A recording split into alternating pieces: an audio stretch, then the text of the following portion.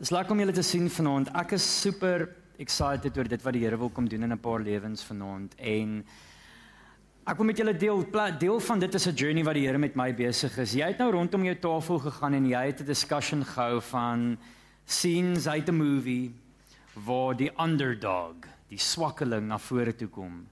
En dit gebeur nie net in die flieks nie. Daar's 'n paar dinge in ons lewens waar ons al gesien het die underdog, die swakkeling rise to the occasion. En ek wil vanaand 'n bietjie praat met jou daaroor iets moving from facing the giants to slaying the giants. Elkeen van ons het uitdagings in ons lewens wat ons mee sit, nê. Nee. Is dit saam met my? Almal van ons het uitdagings. Hierdie uitdagings staan soos reuse voor ons. Hierdie reuse uitdagings laat ons voel soos die underdog, die swakkeling. Nou die underdog storie feature gereeld in enige Christelike verhaal. Jy sal sien in die Bybel ook, daar's altyd die kere wanneer die persoon wat nie die die most likely hero is nie, word ge-challenge om die hero te word en hulle slaag altyd. Die Here gebruik mense wat nie noodwendig lyk like, soos hierdie ultimate poster boy of child van hero nie. Maar dit is hoe die Here werk. Ek wil vir jou, jou vanaand wys dat jy in staat is om die swakhede in jou reuse in jou uitdagings raak te kan sien. Maar voor dit is, wil ek gou net by die eerste punt begin. Jy sal sien ek het vir jou notas uitgeprint. Jy's ook welkom op jou YouVersion te gaan. Vanaand se preeknotas is daar. Die eerste punt wat ek wil maak is we all face giants. We all face giants. Ek en jy het uitdagings. Ons lees dit in Jakobus 1 van vers 2 tot 4. Ons weet hierdie lewe is rof. Stem jy saam met my? Ons sien dit in die woord. Dit sê by Jakobus 1 vers 2 tot 4, "Consider it pure joy, my brothers and sisters." Hier's waar dit mal raak. Consider it pure joy whenever you face trials of many kinds. Sê gou saam met my, "Yay for trials." Dit klink mal, doen dit nie? Ah, dit klink siek. Yay for trials, maar dit is wat ons lees daar. Because you know that the testing of your faith produces perseverance. Let perseverance finish its work so that you may be mature and complete, not lacking in everything. So die woord leer vir ons in hierdie lewe gaan ons trials hê, in hierdie lewe gaan ons uitdagings hê, in hierdie lewe gaan ons reëse face. Consider it pure joy. Nog 'n stapie verder net vir 'n bietjie sê hoe mal die mense was wat hierdie goed geskryf het. Dis daai was geskryf teen teen in 'n tyd wat daai persoon wat dit geskryf het deur ernstige verdrukking gegaan het. Die manne wat die mense wat hierdie geskryf het, het in die tronk gesit. Hulle was geslaan. Daai is teen teen in geskryf terwyl iemand in die tronk sit of deur verdrukking gaan. Consider it pure joy when you face trials. Ek kan net dit sê wanneer ek weer die Here het is in my lewe, nê? Nee? Maar jy gaan reëse face, jy gaan uitdagings hê. Ons het verskeie uitdagings, verskeie vyande. Hierdie reëse, jy kan dit noem soos wat dit wil. Dit is in jou lewe. Wat is die reëse in jou lewe? Dit is dalk moeilike omstandighede. Dit is dalk onsekerheid. Ons het ook 'n ultimate reus, die duiwel, nê? Nee? Dit klomp dinge in jou lewe. Dit is vrees onsekerheid oor sekere gevalle. Ons het uitdagings, reëse, jy kan noem wat dit is. En hierdie laat my en jou voel soos die swakkeling, die underdog. Maar ek wil vanaand vir jou sê ons hoef nie die underdog te wees nie. Ek wil jou perspektief vanaand kom verander. Nou in die flieks wat ons altyd kyk van die underdog, dis altyd hierdie swak persoon wat nou nie rarig besef hulle gaan die hero kan wees nie. In die storie is daar altyd 'n bully, daar's altyd 'n champion en jy weet wat gebeur. Die die persoon wat die underdog is, is altyd in 'n ek onthou altyd toe ek nog klein was, daai Mighty Ducks stories of Little Giants, jy onthou dit net van die klein voetbalspan of die ijskaatsertjies wat nou die swak span is en hulle moet nou hierdie groot champion spanne face. Hulle is die underdogs, maar hulle gaan altyd deur 'n proses waar hulle nou deur hulle swakheid kom en hulle raak beter. dan wen hulle die bullies, dan wen hulle die goeie span. Julle almal onthou dit, nê? Nee. En dis hoe die lewe is. Dit is hoe dit is. Ons word altyd deur deur challenges gesit en ons moet maar deur dit survive. Maar wat as jy vanaand besef jy kan van vroeg af al die weaknesses in jou vyand raak sien? Die weaknesses lê in jou vyand. Jy hoef nie die underdog te wees nie. Tweede punt wat ek wil maak vanaand is die spookstories hoef jou nie te beïnvloed nie. Die spookstories hoef jou nie te beïnvloed nie. En hoekom ek praat van spookstories is ek wil vanaand fokus op twee stories van reëse wat ons sien in die Bybel. En die ene wat baie te doen het met die spookstories oor oor reëse. Ek wil jy moet um vir my 'n nota maak daar. Jy kan saam na jou blaai in jou Bybel na Numeri 13. Ek gaan nie die hele stuk lees nie. Ek wil hê jy moet nota maak en op jou eie studie gaan doen of van ek gaan net so 'n paar goed uitlig in die boek. Nou net om vir jou agtergrond te gee van die spookstories oor die reëse in Nimeri. Is die volk was lus om die beloofde land in te gaan. Moses het 'n paar spies gestuur na die beloofde land toe om te gaan sien hoe lyk dit daarso. Maar hulle het teruggekom met 'n storie, het teruggekom met 'n paar dinge wat hulle gesien het en ek wil net gou iets sien vir jou uitlig hiervan Numeri 13 vanaf vers 27 af. Hier's die account. Hier's die die die dit wat die persone wat uitgestuur is om te gaan spaaie in die beloofde land gesien het. Hier van vers 27. They gave Moses this account. We went into the land to which you sent us and it does flow with milk and honey. It's a cool land. Here is its fruit. But the people who live there are powerful, and the cities are fortified and very large. We even saw descendants of Anak there. Weet jy wie se descendants of Anak? Resa. The Amalekites live in the Negev. The Hittites, snaakse woord, and the snaakse woord live in the hill country, and the Canaanites live near the sea. Ek wil nie hierdie uitspreek nie, net ou klink dit of ek vloek and along the Jordan.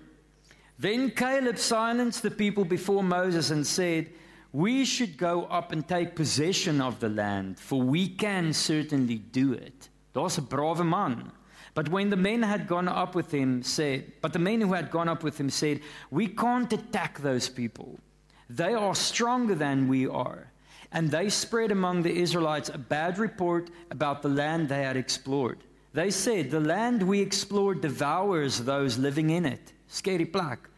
All the people who saw, we saw there are of great size. We saw the Nephilim there. The descendants of Anak come from the Nephilim.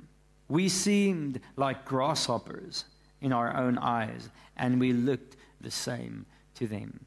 So, uh, as hulle die account gee van wat in daai land aangaan, dan sê hulle, daar's nice goed daar land of milk and honey, baie goeie vrugte.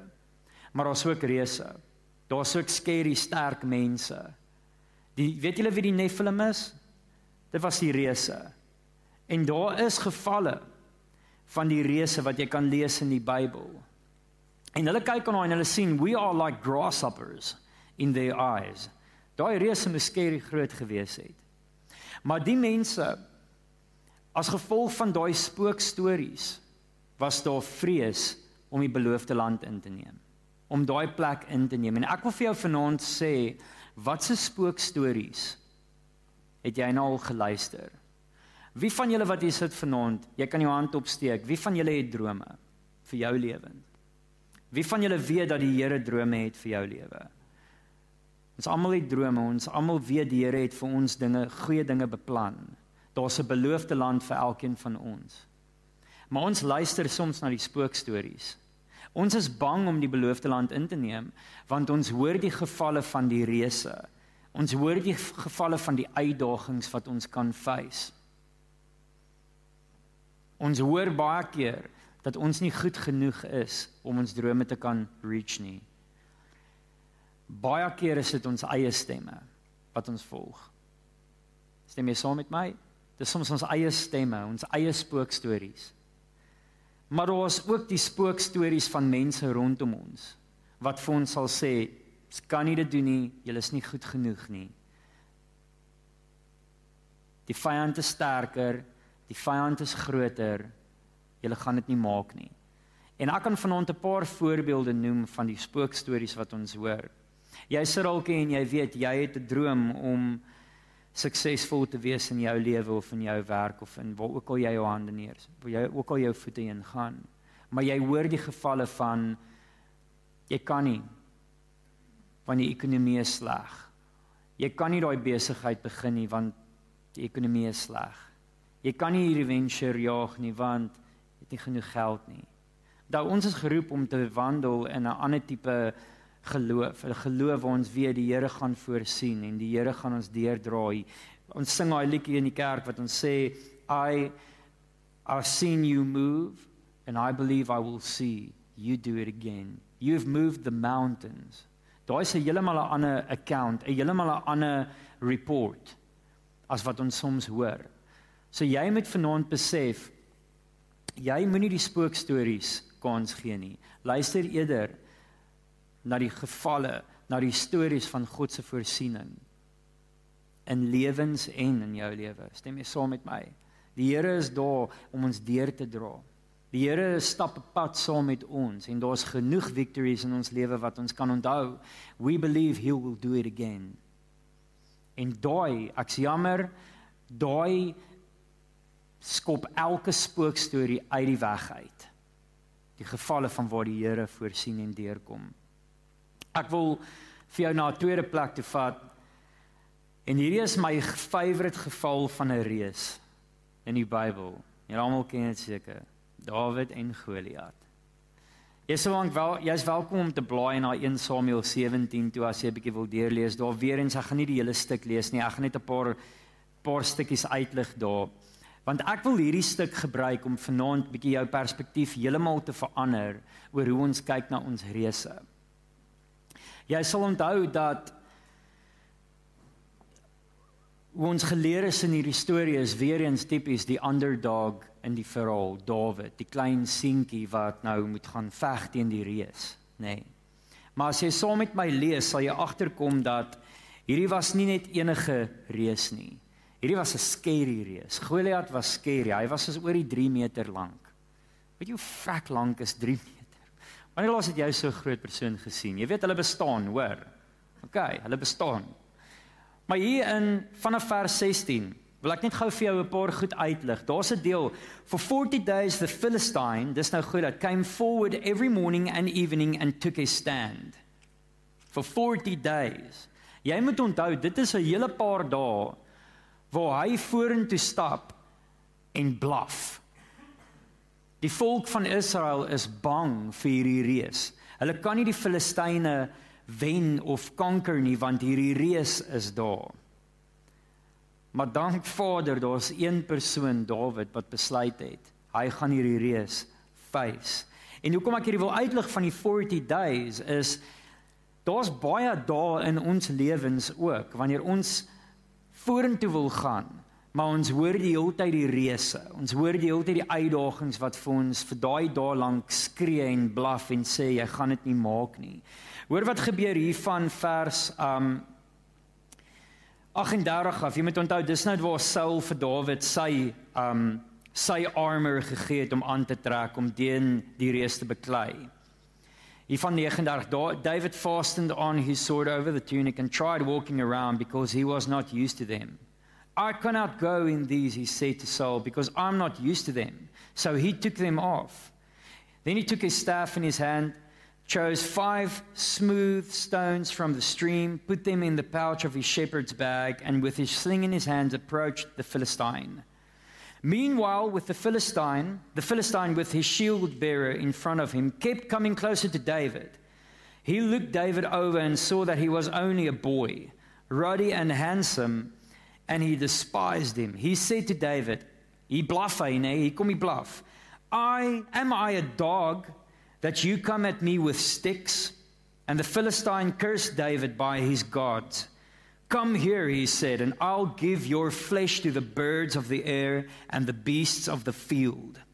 David said to the Philistine, You come against me, ek love hierdie deel. You come against me with sword and spear and javelin, but I come against you in the name of the Lord Almighty, the God of the armies of Israel, whom you have defied. This day the Lord will hand you over to me, and I'll strike you down and cut off your head.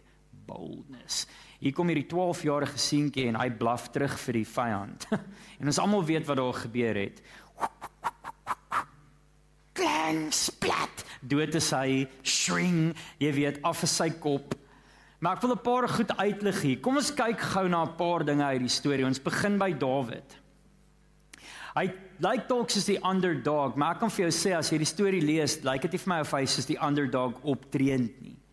Hy reageer dadelik soos iemand wat weet hoe om te te oorwin. Sê jy dit? As jy dit daar lees, dan sal jy sien hy reageer dadelik. Ek sien nêrens in daai storie dat Dawid nou hoor, okay, die vyand gaan teen hom beklei, Goliat gaan teen hom beklei. Ek sien na, glad nie dat Dawid nou eers 'n oomblik vat en dan gaan sit iewers en dink, okay, ek moet gou bid. Here, hierdie is 'n challenge. Gee my krag. Ek lees dit nie. Ek sien Dawid reageer dadelik. Hy weet dadelik wat om te doen. Ek sien nie hoe hy 'n plan beraam nie. Ek sien iemand wat reageer soos 'n persoon wat al van tevore oorwin het. Jy sal lees in die skrif dat Dawid ook gesê het hy het al 'n leeu en 'n beer oorwin. Het jy dit geweet? Voor hy Goliat oorwin het. Dis scary. Jy wie van julle het al teen 'n leeu beklei? Wie van julle wil teen 'n leeu beklei? Hulle sê what doesn't kill you makes you stronger, except for bears. Bears will kill you. Wie van julle het al teen 'n beer beklei of wil teen 'n beer beklei? Dit sal dis hep, dis ek hektiek, maar Dawid het. Hy het 'n hy het 'n leeu doodgemaak, hy het 'n beer doodgemaak. Ek kry so 'n idee Goliat was nie vir 'n challenge nie. Hy tree nie op soos iemand wat dink, "O, oh, hier kom 'n challenge nie." In feite hy het oorwin. Dis vir my amazing. Net ietsie oor die leeu's, daar was leeu's daai tyd. In die land waar daai leeu's was, was dit 'n groter tipe leeu. Net om so 'n bietjie vir jou te verduidelik die scary situasie waarin hy was. Maar dis Dawid. Hy noem van die leeu en die beer wat hy doodgemaak het, want hy onthou sy victories. Hy weet daar was 'n victory waar die Here hom al deurgebring het en daarmee face hy vir Goliat head on en hy maak hom dood. Kom ons kyk gou na Goliat. En hier's waar ek wil hê jy moet 'n bietjie jou hart oop maak. Want ek wil jou perspektief so klein bietjie kom verander. Ons kyk na Goliat en ons sê en ons sien die ultimate bully. Bluff, bluff, bluff. Hardloop rond en skree vir almal, maak almal bang. Hy was groot, hy was 'n huge, sterk, scary mens. Maar kom ons kyk 'n bietjie na die reuse. Hulle sê Goliat was so 3 meter lank. Vandag nog kry jy mense van daai size. Het jy dit geweet? Vandag nog kry jy reuse. Ek het nou 'n gesprek met my broer gehad waar ons 'n bietjie gechat het oor die reuse. En hy het vir my iets cool vertel van 'n praatjie wat hy geluister het by sy kerk waar hulle net 'n bietjie gekyk het na die reus. As jy vandag kyk na reuse, mense wat daai size is. Dis scary, dis groot, maar het jy geweet dat meeste van die tyd het die reuse, mense van daai size, het 'n tipe van 'n gebrek. Hulle is groot ja, maar ons soms het probleme met die bene. Die bene is swak. Die persoon se sig is dalk swak. Die gesondheid is nie 100% nie. Dis 'n reus, maar die daar is ailments, daar is siektes, daar is swakhede. Dit sê vir my en ek hier is nie reëls nie. Ek wil net hê ons moet 'n bietjie dieper kyk op nou en dis dalk my take op dit, maar dit sê vir my Dawid het dalk gekyk na die reus Goliat en dalk geweet. Hier's 'n reus met dalk 'n paar uitdagings, 'n paar weaknesses. Sy bene is dalk swak. Sy sig is dalk nie so goed nie sy asemhaling is dalk nie so goed nie. Sy gesondheid is nie 100% nie. Hy is dalk groot en sterk, yes, maar daar's dalk 'n paar weaknesses. Onthou dit, dink 'n bietjie daaraan. Think about it. Ek sien nêrens dat ons lees nêrens in daai storie waar ons sien hoe Goliat soldate doodmaak van Israel nie. Kans is goed dat hy dalk as gevolg van sy grootte en die manier hoe hy blaf dat hy nie dalk al 'n persoon doodgemaak het nie. Hy het dalk niemand doodgemaak nie. Almal het net gekyk na hom en dalk weggehardloop. Hy het dalk nooit eers die geveg voorgesit in sy lewe nie. Think about it. Maar Dawid sien die swakheid in sy vyand en hy weet dadelik hoe om te reageer. En met dit in gedagte wil ek 'n bietjie vir jou laat kyk na jou eie vyand, jou eie reus, jou eie uitdaging. Jy geweet jou eie vyand, jou eie reus, jou eie uitdaging het 'n paar uitdagings van hulle eie. Het weaknesses. Maar daar's 'n groot geblaf en gespook teenoor ons wat maak dat ons dit nie raak sien nie. Ons uitdaging staan voor ons as hierdie groot warriors. Maar die blaf is soms groter as die byt. Die blaf is soms groter as die byt. En ek wil hê jy moet vanaand besef dat jy op 'n ander manier kan kyk na jou vyande. Ek wil hê jy moet onthou dat die woord sê vir ons die duiwel, wie ons ultimate vyand en giant is, loop rond soos 'n brullende leeu. Jy het dit al gehoor wanneer hulle dit sê in die Bybel? Sê dit hy is 'n leeu? Nee, hy loop rond soos 'n brullende leeu. Hy blaf blaf blaf. Maak bang, maak bang, maak bang. Maar ek en jy weet ons het in ons die een wie sterker is. Die laaste punt wat ek wil maak is onthou die triomftog onthou die triomftog. En hier's waar ek wil fokus op die wete dat my en jou vyande is klaar oorwin. Is klaar oorwin.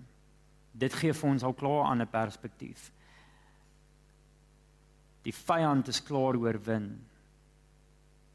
So wanneer hy kom blaf, blaf hy soos iemand wat heavy baie onsekerheid het want his time is short sy weakness is dat hy klaar oorwin is. Sy weakness is dat hy nie net oorwin is nie, maar hy is verneder. Jou vyand Satan is verneder. En hoekom sê ek so? Blaai saam met my as jy kan. Die skrif is ook op die bord na Kolossense 2 vers 15. En hier is 'n belangrike deel wat ek jou mee wil los vanaand, want ek glo regtig die Here wil 'n paar goed kom doen in lewens. And having disarmed the powers and authorities, he who is Jesus made a public spectacle of them, triumphing over them by the cross. Met daai skrif in gedagte wil ek gou vir jou agtergrond gee oor iets die tyd wat daai geskryf is was die Romeinse soldate redelik redelik relevant en bekend. En wanneer daai public spectacle wat ons daarvan lees in daai tyd wanneer die Romeinse soldate 'n uh, 'n gebied of 'n vyand verslaan het, dan was daar 'n triomftog. En weet jy hoe hierdie triomftog gelyk? Hierdie triomftog was die volgende: Die stad wat ingeneem is is ingeneem. Die vyand is verslaan. Maar daar is 'n triomftog wanneer die Romeinse soldate terugkom na hulle eie gebied toe. Mense staan in die strate en cheer en daar's 'n gevolg. Die soldate wat oorwin het kom in die straat afgeloop met alles wat hulle gesteel het en gevat het by die vyand. Die juwele, die skatte, dis hulle se nou. Hulle display dit in die straat. Nie net dit nie.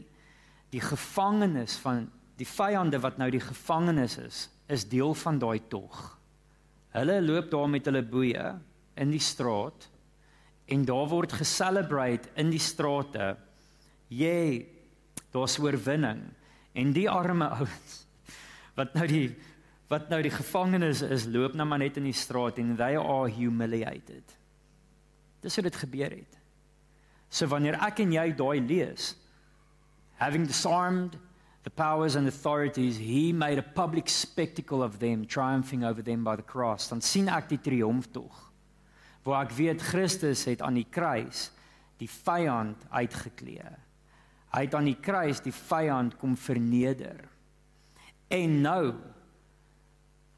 vir al die jare deur en vir ewig is daar 'n triomftog. Waarin hierdie stad met al die gelowiges is die koning van konings besig om die stad binne te tree en ons celebrate en in daai optog in daai verloop is die vyand verneder hy is verneder en oorwin en ons celebrate daaroor ander perspektief vir my die skatte en die juwele is gevat by die vyand. Ek wil sê dis teruggeneem van die vyand af, want hoe baie keer het die vyand die reus nie al by ons kom steel nie. Hy het by jou al skatte kom steel, hy het by jou skatte kom steel. Maar deur daai vernedering wat die vyand deurgegaan het, is daai skatte en juwele nou teruggevat en ons celebrate daaroor. Dis ek maar ek sê vanaand onthou die triomftog wat nou besig is om aan te gaan. Daar's 'n daar's 'n vyand wat blaf. Maar dis 'n vyand wat klaar oorwin is. Dis 'n vyand wat verneder is deur die kruis. Dis 'n vyand wat weaknesses het. En ek beleef die Here wil dit vanaand net vir julle kom sê. Ons dien 'n amazing God. Amazing God. Ek wil jy moet kyk na jou notas en weet dat jy is 'n giant slayer. Hoekom sê ek dit? Want jy hoef nie net die reuse in jou lewe te face nie. Jy kan deur die krag van die Here kan jy oorgaan in aksie en jy kan slay. En die Here se krag onthou. Hy klaar die oorwinning vir jou gegee. Jy kan nou net in die triomftog wandel en celebrate en net die Here se naam loof because he is victorious. Ek wil vir jou vra vanaand wat is die reëse in jou lewe wat jy gaan oorwin deur die krag en die naam van Jesus Christus. Think about it. Jy het ook vanaand ingekom met 'n reëse in jou lewe, 'n uitdaging. Maar ek glo en vertrou vanaand dat jy uit gaan stap en jou reëse en jou uitdaging gaan nou baie anderster lyk. En wanneer ons vanaand die nagmaal vier, klem op 4, doen ons dit nie uit hartseer uit oor ja die Here het vir ons kom suffer nie. Ons doen dit uit oorwinning want ons weet ja die Here het kom sterf vir ons, maar hy het ook vir ons opgestaan en daar's 'n triomftog. So wanneer ek en jy nou die nagmaal enjoy, kan ons dit doen met victory met blydskap. Te sê dankie Here dat U oorwin het. Dankie dat ons nie meer hoef te skrik vir die geblaf van die vyand, vir die geblaf en skreeu en wat ook al die vyand vir ons sê. Dankie Here dat ons ons drome kan volg. Dankie dat ons die beloofde land kan inneem en nie hoef te skrik vir die reëse nie. Maar U gee vir ons dit wat ons het in ons hande. U gee vir ons die klippies. U gee vir ons alles wat ons nodig het om in oorwinning te kan tree. Interessant genoeg en ek um hulle sê Dawid het 5 ag nee, Goliat het uh, het 4 ander boeties gehad. Hoeveel klippies het Dawid opgetel? 5. Just putting it in there. Dink baie keer oor hoop maar dis Bybels korrek. Maar dis baie cool. Dis dis baie cool nonetheless. Maar ek wil gou-gou vir ons bid en um alhoewel jy met gou-gou wil jy is net jou oë toe maak. En ek ek ervaar al heel naweek dat die Here vanaand die Here vanaand wil kom minister. Die Here vanaand wil kom bedien by julle en ek wil hê soos jy is, hou jou oë net toe vir ruk en hier stok van julle vanaand wat regtig sit en jy jy's gevul met vrees en onsekerheid want daar's uitdagings en reëse voor jou. En net jy weet wat dit is. Ek wil vir jou vra as jy vanaand die krag nodig het om daai reus te kan platslaan. Wil ek hê jy moet net jou hand vir my lig. Just raise your hand if you need power. As jy krag nodig het om daai reus te conquer in jou lewe. Baie dankie vir julle hande. Ek sien dit. My hand is op want ek het uitdagings in my lewe. Ek het reëse in my lewe wat ek face. Maar ek weet ook deur die Here se krag is ek nie meer die underdog nie. Ek is die oorwinnaar. Jy is vanaand die oorwinnaar. En ek wil hê jy moet vanaand hier uitstap met jou skouers agtertoe with your head raised high. En weet dat jy kan jou reus face. In feite jou reus is klaar geface deur die ultimate warrior, deur die ultimate koning wat hom plat geslaan het.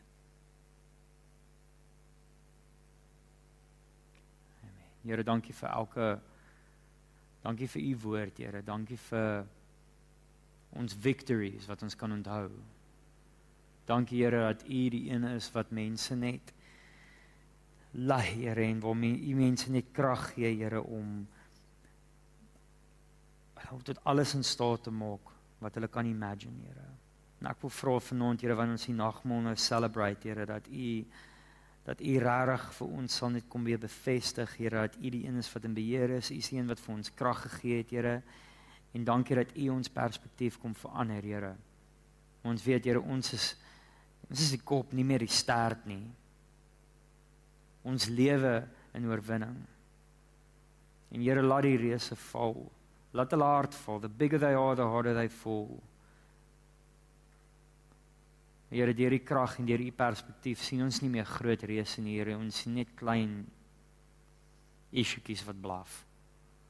Dankie dat u ons krag gee om dit uit die weg uit te ruim met u krag en in oorwinning te kan leef. In Jesus naam. Amen.